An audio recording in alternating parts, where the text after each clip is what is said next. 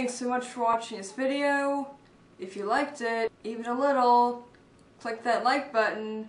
If you liked it a lot, please fave, share it on your blogs and social networks, subscribe if you haven't already, or at least check out some more of my videos.